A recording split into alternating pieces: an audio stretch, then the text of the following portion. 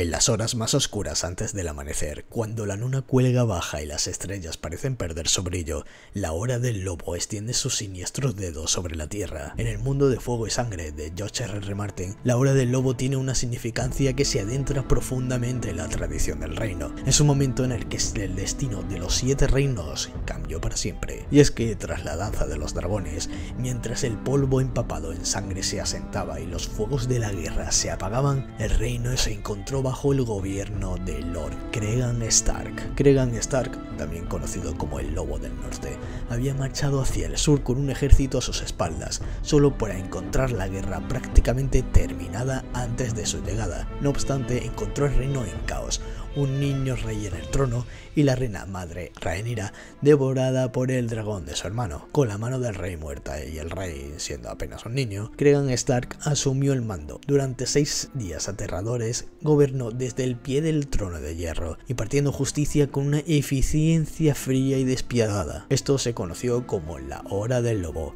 un breve pero inolvidable periodo de gobierno Stark en el sur. Durante esa hora, los hombres del norte impartieron una justicia rápida, encarcelando a muchos miembros de la corte por el asesinato del rey. Aunque había sido enemigo del rey durante la danza, Lord Stark se oponía a que un monarca fuera asesinado por envenenamiento en lugar de en una batalla. Además condenó a señores, grandes maestres y soldados por igual como traidores, decapitando personalmente a los condenados con hielo, la gran espada central de acero valirio de la casa Stark. Pero tan rápido como comenzó la hora del lobo se terminó. Lord Stark había planeado continuar la guerra marchando sobre Bastión de Tormentas, Antigua y Roca Casterre, poderosos bastiones de los verdes. Sin embargo, los restantes señores verdes enviaron mensajes de paz, lo cual fue alentado también por las mujeres de la corte. Habiendo logrado lo que se proponía, Cregan renunció a su posición y regresó al norte, dejando una capital sacudida a su paso.